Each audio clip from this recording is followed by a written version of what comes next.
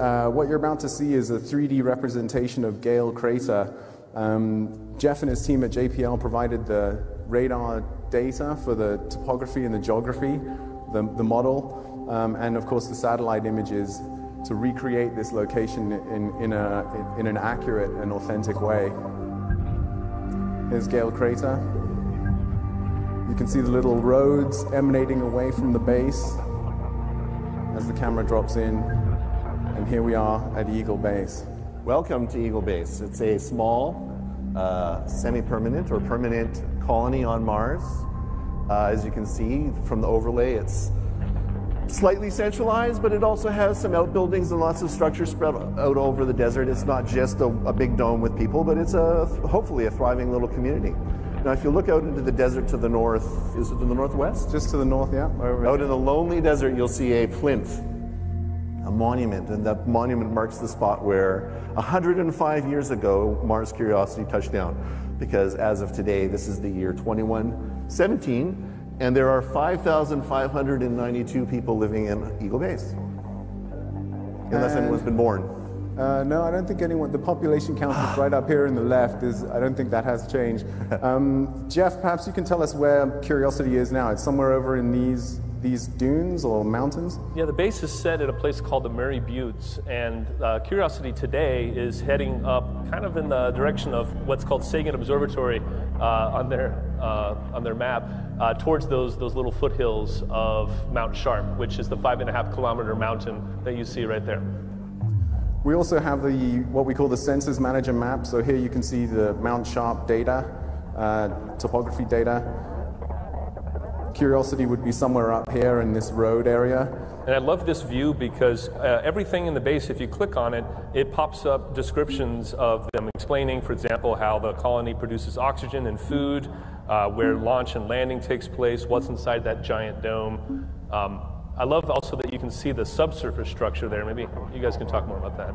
Yeah, uh, so the colony produces air, water, and food in a number of ways, but some centralization and some decentralization. You'll notice the dome in the center is where many of the people live, but it's also the colony's biggest reservoir of breathable air and uh, clean water.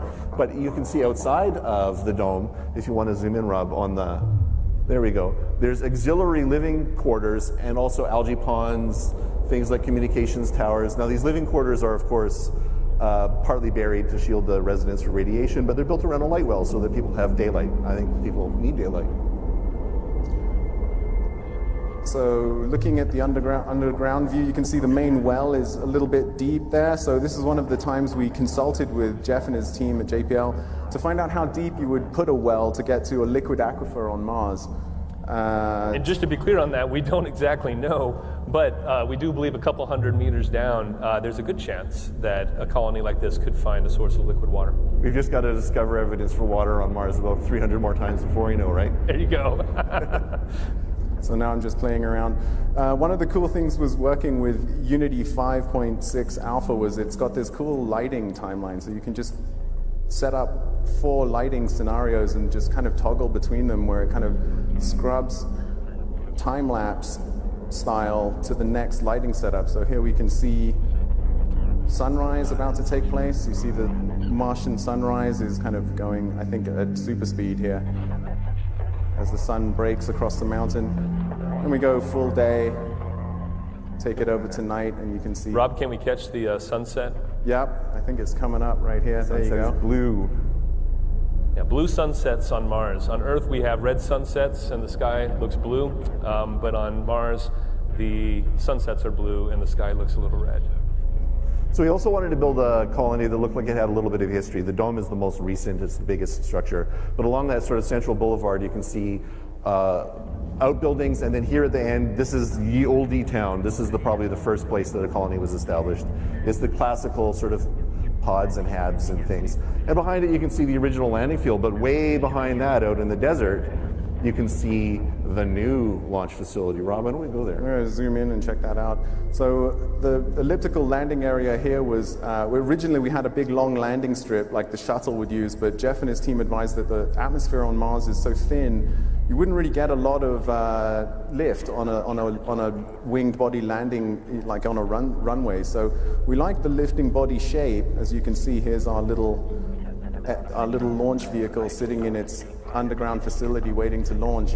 And um, the idea was that it would come in and land vertically, sort of SpaceX style, land on that elliptical area, then be relocated, taxi along, and then go down to the underground works here where you can see it gets services refueled and gets sent back up into space so we can trigger that movie.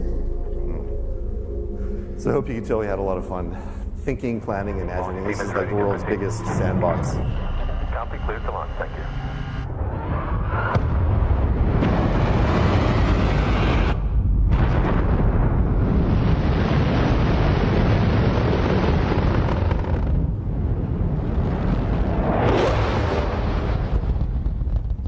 Off we go back home to uh, sunny Las Vegas. Thanks for your attention.